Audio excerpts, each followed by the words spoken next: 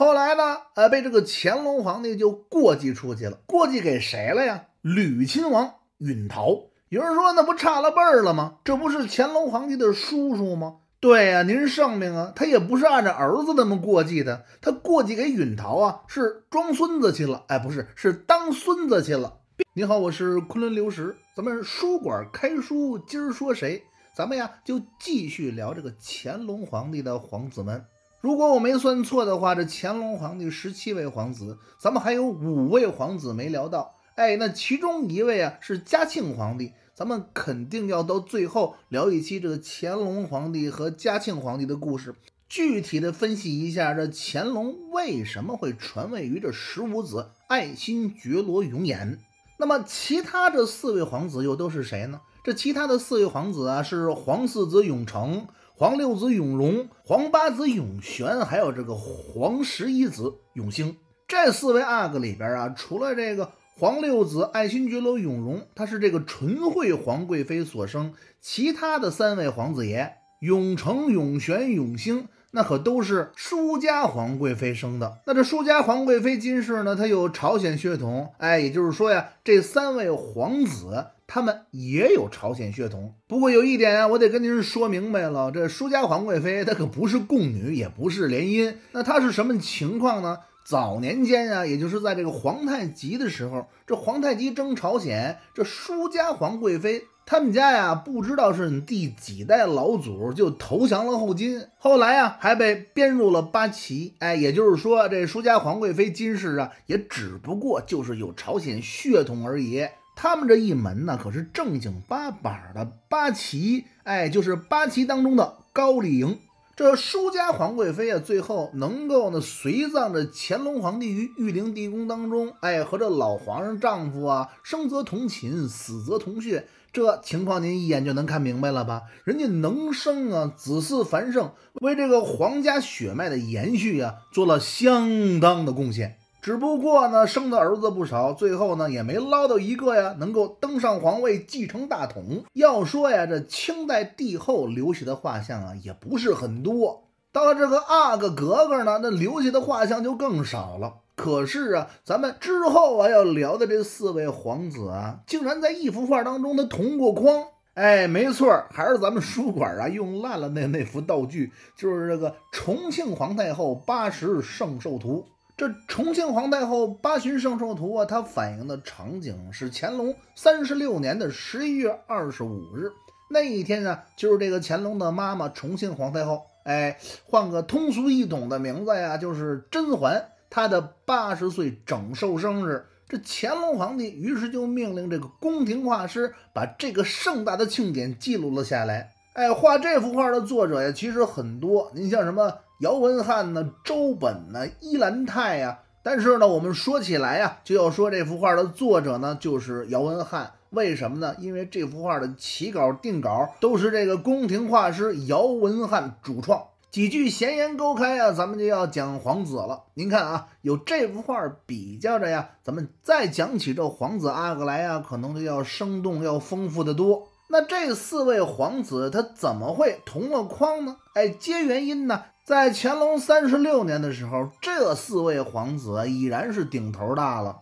他们在这次盛典上的职责是什么呢？首先说呀，呃，要给这个皇太后拜寿。这里边啊，还有一个小的助兴节目，也就是这乾隆皇帝率领着众皇子，以及啊这个皇孙、皇曾孙，还有这个众额驸们，给这个老太后啊彩衣进舞。哎，是什么舞蹈啊？这书上没有记录。不过我想啊，可能是蟒式舞。为什么我这么理解呢？因为想当年啊，这个康熙皇帝在给这个母亲献寿的时候跳的那就是蟒式舞。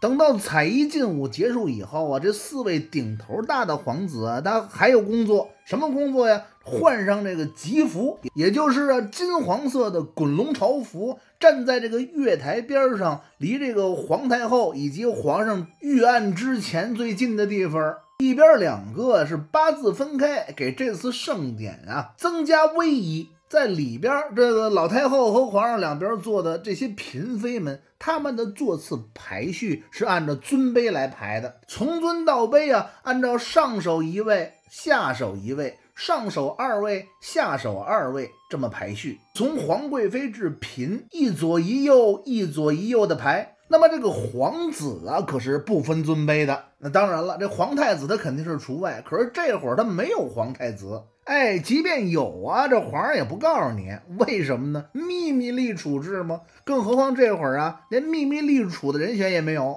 那么这上首第一位皇子啊，那自然就是年龄最长的这个皇四子永成；下手第一位上呢，那就是这个次长的皇六子永荣；上手的垂位上啊，那自然就是皇八子永璇；下手的垂位上啊，那就是皇十一子永兴了。哎，您别着急，咱们一个一个的来。咱们先要说的就是这顶头大的皇四子永成了。哎，别乐啊，您还真别乐。有这种脑型的呀，在我心里那可都是了不起的人。其中有一位啊，就是这个白云的老公，哎，叫黑土。出名那年啊，哎，他七十五。还有一个就是扛着猎枪在这丛林里啊，与各种动物为敌的，哎，他强哥。还有一个呀，这我认识，你们可能不认识，哎，就是我弟妹，哎，不过我弟妹她有钱，哎，这脸型啊早整没了，据说呀是一个韩国大夫做的，嗯，现在呀嘎嘎漂亮。再来呀就是这位皇子爷了，爱新觉罗的永成，这永成啊是这个金家氏，也就是舒家皇贵妃的第一个孩子，并且呢他也是这乾隆皇帝啊登基大宝以后第一位皇子。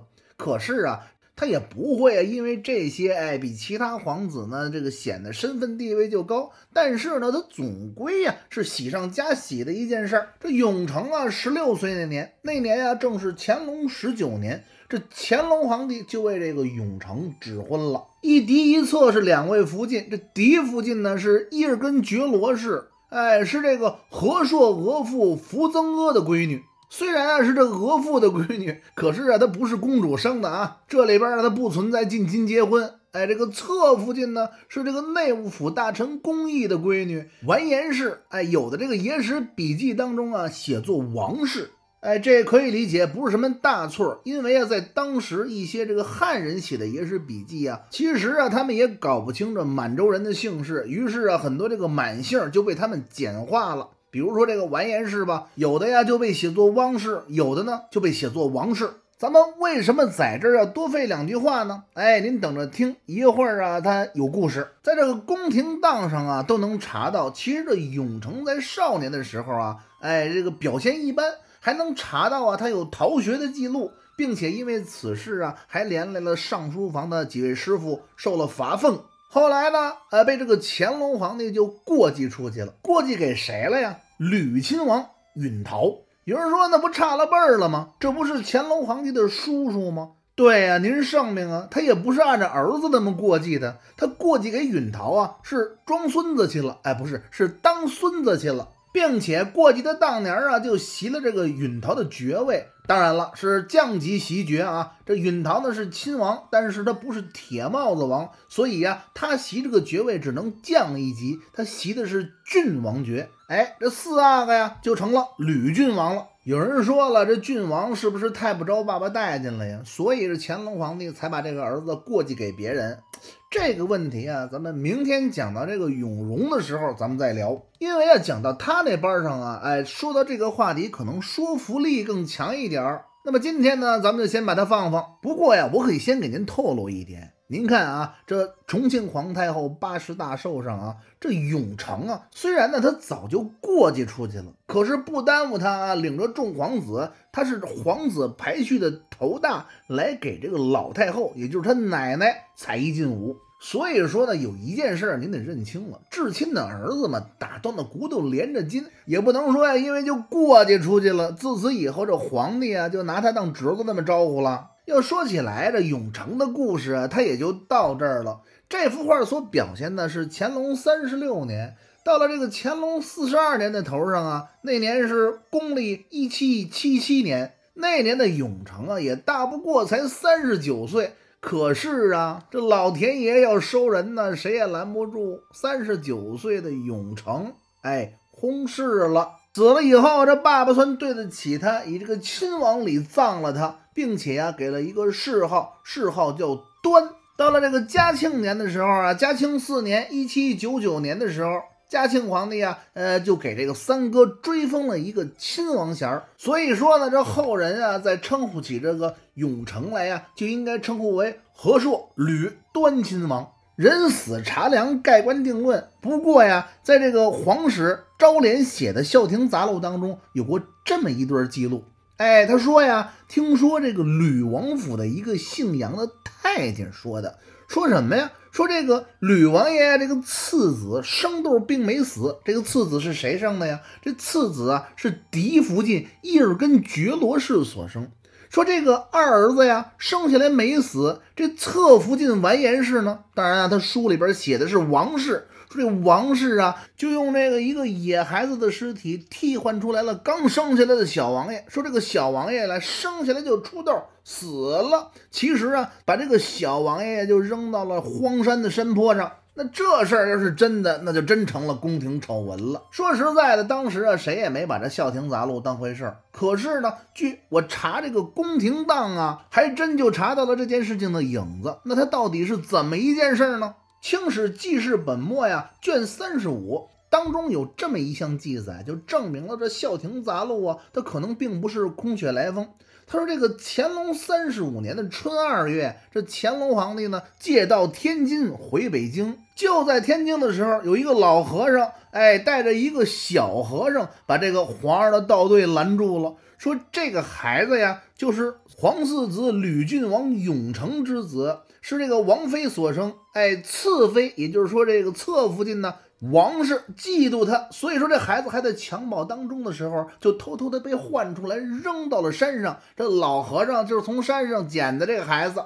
这皇上一听啊，就说那那这事儿咱们得查查呀，就把这个一老一少这两个僧人啊带回了北京。哎，他什么事儿啊都怕板子，这木头棒子打到屁股上啊，没几下老和尚就招了。老和尚说呀，这孩子就是我捡的，哎，根本就不能证明啊，他就是这个四皇子永成的孩子。哎，这故事呢都是我编的。哎，这老和尚最后落的一个呀，斩于西市。这小和尚的下落啊，就不知道了。当然了，这事儿他关键也得调查呀。就调查到这个永城府上的时候啊，这正福晋伊尔根觉罗氏就说了：“说这个我那个小儿子死的时候啊，还抱到我跟前，我还看了。谁要是把我儿子给我换了，我能不知道吗？再者了，我跟这个侧福晋呢，我们姐儿俩关系可好了。这些个话呀，那都是子虚乌有。哎，没有这么八宗事儿。”本来我想啊，今天怎么着，咱们也能啊聊两位皇子。可是呢，跟您各位这一聊嗨了啊，这话头就收不住。当然了，也是因为啊，跟这个亲人一块聊天，这话自然就多。没关系啊，明儿咱不是还开书呢吗？有什么话呀，咱明儿再说。